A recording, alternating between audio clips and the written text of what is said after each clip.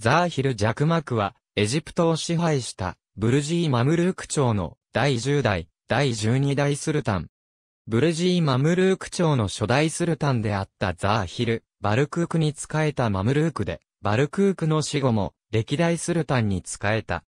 1438年に、アシュラフ・バルスバーイが死去すると、バルスバーイの息子である、アジーズ・ユースフを抑えて、自ら、スルタンとして即位した。マムルーク朝は、バルスバーイの治世で、再度の全盛期を迎えていたが、その治世における統制が厳しすぎたこともあって、バルスバーイの死後に、地方で反乱が起こった。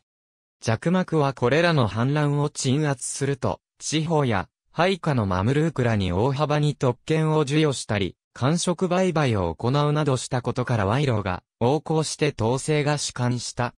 一方で、バルスバーイ時代に敵対したティムール朝とは牧師、ロドス島占領を目指して、遠征を行うなどしたが失敗。晩年には、ギザで、黒人奴隷が反乱を起こし、1448年には、先代の息子、アジーズ・ユースフに一時的に廃されるなどして王朝が混乱する中、1453年に、負の遺産を残して死去した。76歳であった。